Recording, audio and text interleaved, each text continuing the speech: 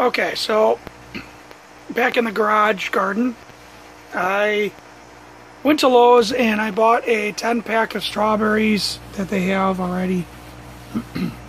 and uh, opened up the pack, dumped out the soil, rinsed off as much of the soil as I could, cut away some of the dead and old growth roots and leaves up at the top and any of the roots that really just look bad and not all of them but most of them. And I have these rock wool cubes and um, what I'm doing is I'm trimming the rock wool cubes. After I soaked them I'm trimming them and I'm planting the strawberries into the rock wool cubes and I'm trimming them to fit into the three inch net cups. And what I'm going to do is I'm going to water these you know every so every few days or whatever when they feel dry. And I want to try to air prune the roots to see if it, you know the roots take and um, try to give it the best root base possible before I you know put it into a really strong nutrient solution. Um, it's pretty much what I did with my tomato plants and uh, my peppers and my basil and all this other stuff that's up here um, I did a little air pruning. And um, a air pruning is when you allow the roots to come out to the edge the, the roots will come out to the edge of the uh, grow cube. And as soon as they hit the air um, the plant will actually die back the root a little bit and then start new roots out of the stem. Um, and it'll give it a much stronger root base rather than just like one root running down and then you know if something happens to that root the plant will be more vulnerable.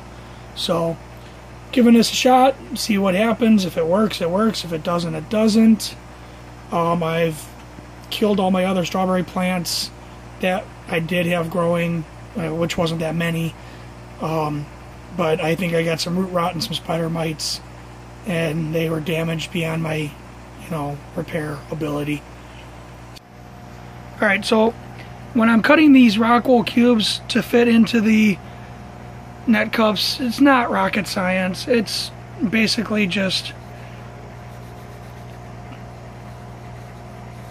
if I can do this with one hand, which I probably cannot, which is fine. I had already cut the other three sides with the razor blade. So I'm just taking off corners like this.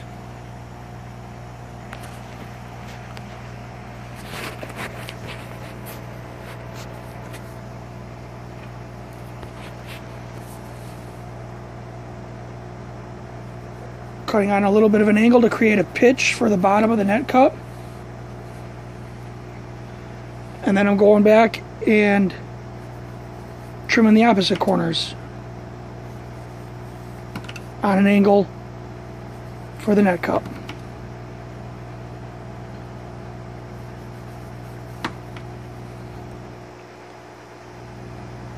So now, take the net cup, it fits in there. What I'm also doing is, for the roots, trimming down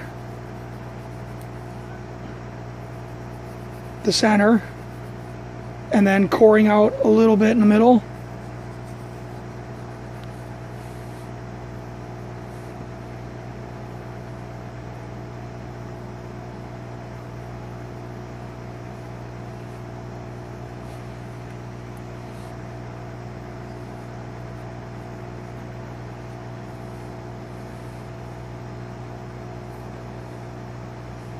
so that I can get the roots down in there if they're long enough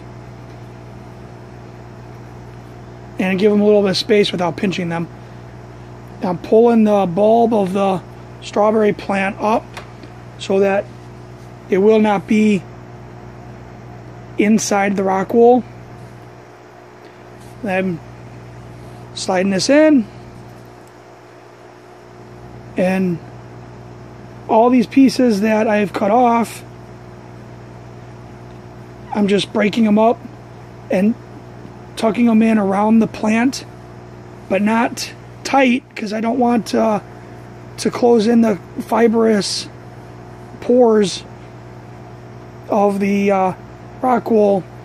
Otherwise, the roots may not develop around there. So just fill it in without getting carried away. I don't want huge gaping voids around the plant, but I don't want it tight. So there.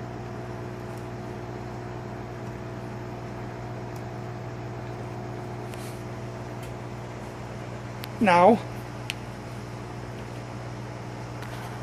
I have 10 strawberry plants planted in rock wool in 3 inch net cups and we will see what develops.